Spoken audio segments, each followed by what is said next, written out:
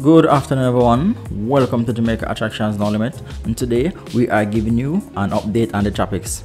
Today we are looking at Tropical Storm Larry, Tropical Depression Kate and an area of disturbed weather in the Caribbean which is classified as Invest 91L. Okay, let's begin with Tropical Depression Kate. Tropical Depression Kate is downgraded to Tropical Depression. It is weakening and moving towards the north at 12 miles per hour. It is located at latitude 26.8 degrees north and longitude 52.3 degrees west. Maximum sustained winds are at 35 miles per hour.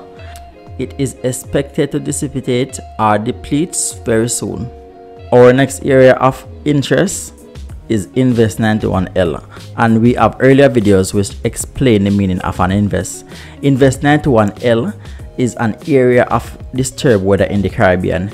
It is located at latitude 13.3 degrees north, longitude 81.1 degrees west, moving west northwest at 13 miles per hour with maximum sustained winds at 35 miles per hour.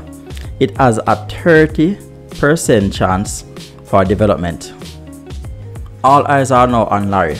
Invest 90L was upgraded to Tropical Storm Larry. Tropical Storm Larry at 11 a.m. Wednesday the 1st of September 2021 located at latitude 12.3 degrees north and longitude 27.6 degrees west traveling in a westerly direction at 22 miles per hour maximum wind speed are at 50 miles per hour it is expected to turn towards a northwesterly direction over the next few days and anticipated to become a very strong hurricane. And it is projected to stay over open waters. Please remember to subscribe to our channel and hit that notification bell to get weekly videos from Jamaica Attraction No Limit and to continue getting these updates.